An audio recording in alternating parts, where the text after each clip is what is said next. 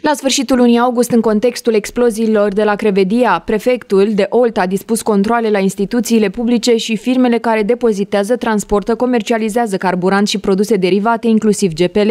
Joi acesta a prezentat o actualizare a acestor verificări. Astfel au fost aplicate peste 120 de amenzi în valoare de aproape 1.400.000 de lei. Au fost dispuse măsuri de închidere a locațiilor în care se comercializau carburanți, lubrifianți și produse derivate ale acestora, inclusiv gaz, petrol, lichid Fiat GPL.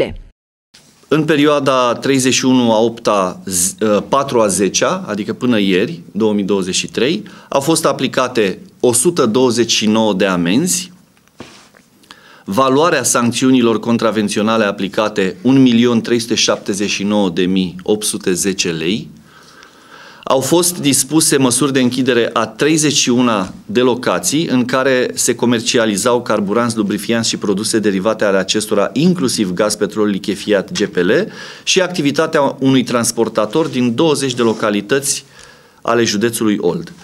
Au fost dispuse măsuri de închidere a 31 de locații în care se comercializează carburanți, precum și activitatea unui transportator din Caracal. Dintre locațiile închise, șapte au fost în Caracal, patru în Slatina, trei în Balș și câte o locație din Brâncoveni, Piatra Olt, Studina, Vădastra, Drăgănești Olt, Tia Mare, Giubărăști, Pleșoiu, Urzica, Dobroteasa, Leleasca, Dăneasa, Breben, Schitu și Șerbănești.